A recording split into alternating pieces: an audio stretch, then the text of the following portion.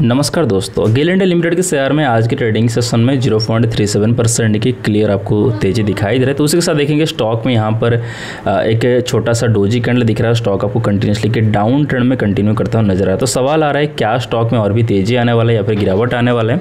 तो अगर ऊपर बढ़ेगा, क्या टारगेट रहेगा, नीचे जाएगा तो क्या सपोर्ट लेवल रहेगा? सभी कंडीशन को इस वीडियो में क्लियरली समझने वाले हैं। तो इस वीडियो को कंप्लीटली एंड तक ज़रूर देखिए। दोस्तों नोटिस कर तो GAIL India limited share stock आपको यहाँ पर एग्जैक्टली देखेंगे। स्टॉक अपना प्रीवियस का रेसेंस को ब्रेकआउट करके क्लियर ऊपर बढ़ रहा है। और यहाँ पर जो स्टॉक ने हाई लगा दो सौ पैंतालीस का, और सपोर्ट लेवल की अगर बात करें सपोर्ट लेवल को दिखा दे रहे है, दो सौ नौ का है। तो अगला सपोर्ट लेवल यहाँ पर नज़र आ रहा है वन का है। और दोस्तों जिस तरीके से आप देख रहे हैं स्टॉक काफ़ी समय से यहाँ पर सपोर्ट रेसेंस बना के ट्रेड कर रहा है तो जब इसको ब्रेकआउट करेगा तो डेफिनेटली स्टॉक में एक तेज़ी का मूवमेंट बनेगा।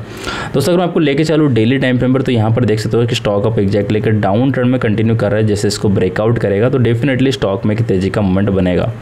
तो ऊपर के साइड में अगर रेजिस्टेंस की बात करें तो आपको दिखाई दे रहा है यहाँ पे 221 का है। नेक्स्ट रेजिस्टेंस लेवल दिखाई दे रहा है यहाँ पे 235 का। तो दोस्तों स्टॉक में कोई भी बाय सेल होल्ड करने की सलाह, सुझाव नहीं है। वीडियो एजुकेशन पर्पज में है। इस वीडियो को लाइक करें। सो धन्यवाद दोस्तों।